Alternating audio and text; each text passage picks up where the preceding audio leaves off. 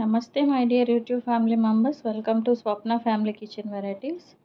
ఈరోజు పునుగులు వేసానండి దోసల పిండితోటి మార్నింగ్ చేసిన టిఫిన్లోనైతే కొంచెం దోస పిండి మిగిలిపోయింది. దాంతో ఈ విధంగా సాఫ్ట్గా ఉండేలాగా పునుగులు అనేది ఏ విధంగా వేసుకోవాలో మరి నేను ఈ వీడియో ద్వారా అయితే నేను మీకు చేసి చూపిస్తున్నానండి.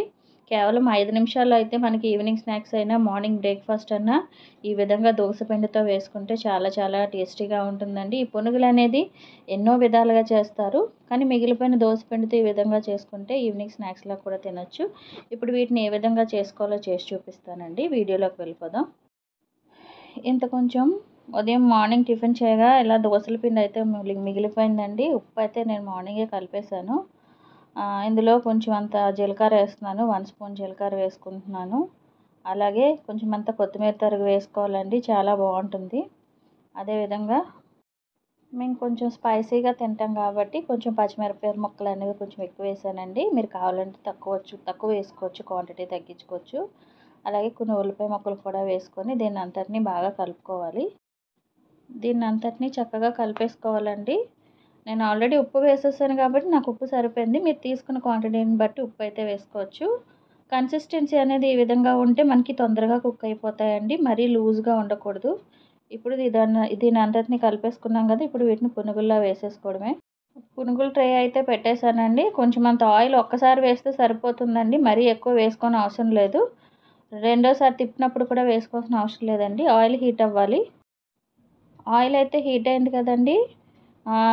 పిండి కొంచెం గట్టిగా ఉంటే నేను నింపుగా వేసుకున్నా పర్వాలేదండి. మీరు ఒకవేళ పిండి కన్సిస్టెన్సీ కొంచెం పలచగా అయిపోయింది అనుకున్నప్పుడు ఆ పునుగుల్లోని ఒక చిన్న ఎల్తులో వేసుకోవాలండి. అప్పుడు మనం తిప్పుకునేటప్పుడు కూడా చాలా బాగుంటాయి బయటికి వచ్చేయకుండా. ఇలాగే మొత్తం ట్రే అంతా వేసేసుకోవాలి.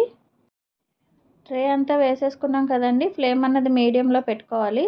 మీడియంలో పెట్టుకొని ఒక ఐదు నిమిషాలు ఉంచుకొని తిరగేసుకోవాలండి. ఫైవ్ మినిట్స్ అయితే అయిపోయిందండి. మూత అయితే తీద్దాము. చూసారు కదా పైన కూడా చక్కగా కుక్ అయిపోయినాయి కదండి. ఇంకోండి ఈ విధంగా టర్న్ చేసేసుకోవడమే. ఎప్పుడన్నా మనము పునుగులు వేసినప్పుడు ట్రేలోని ఫస్ట్ అవుట్ సైడ్ వేసుకోవాలండి. సెంటర్లో వేసుకోకూడదు. ఎందుకంటే సెంటర్లోని మనకి ఫ్లేమ్ అనేది కొంచెం ఎక్కువ తగులుతుంది కాబట్టి అవుట్ సైడ్ వేసుకోవాలి. తర్వాత లాస్ట్లోని సెంటర్లో వేసుకోవాలి. చూస్తున్నారు కదా అప్పుడు ఈవెన్గా అన్నీ రోస్ట్ అవుతాయి. ఇలాగా అన్నీ టర్న్ చేసేసుకొని ఇంకొక ఫైవ్ మినిట్స్ ఉంచేసుకుంటే సరిపోతుంది. చూస్తున్నారు కదండి నేనైతే నైఫ్ పెట్టి చూశాను. ఏమీ అంటుకోలేదు. అంటే మనకి రెడీ అయిపోయాయని వీటన్నింటిని ఒక ప్లేట్లోకి తీసేసుకొని సర్వ్ చేసేసుకొని మిగిలిన పిండిని కూడా ఈ విధంగా వేసేసుకుంటే ఎంతో రుచికరమైన ఇన్స్టెంట్ దోశ పునుగులు అయితే రెడీ అయిపోయాయి కదండి. వీటన్నింటిని ఈ విధంగా ఒక ప్లేట్లోకి తీసేసుకుంటాము చాలా అంటే చాలా ఈజీ అండి. చూసారు కదండి? అన్నింటినీ అయితే ఒక ప్లేట్లోకి తీసేసుకున్నాను. చాలా ఈజీగా చేసుకోవచ్చండి. వీటిని తీపి పునుగులు కూడా చేసుకోవచ్చండి. చూడండి మీరే ఎంత సాఫ్ట్గా అంటే చాలా సాఫ్ట్గా ఉంటాయండి. చూస్తున్నారు కదా వేసిన కొత్తిమీర పచ్చిమిరపకాయలు ఉల్లిపాయలు కూడా ఎంత చక్కగా కనబడుతున్నాయో. నోటికి కూడా భలే రుచిగా ఉంటాయండి. మరి నేను చేసిన ఈ ఇన్స్టెంట్ దోశ పునుగుల రెసిపీ మీకు నచ్చితే ప్లీజ్ నా ఛానల్ని లైక్ చేసి షేర్ చేసి సబ్స్క్రైబ్ చేయండి. బెల్ ఐకాన్ ప్రెస్ చేయండి. నా న్యూ రెసిపీస్ నోటిఫికేషన్స్ అనేవి మీకు వస్తాయండి. నన్ను నా ఛానల్ని సపోర్ట్ చేయమని కోరుకుంటున్నానండి.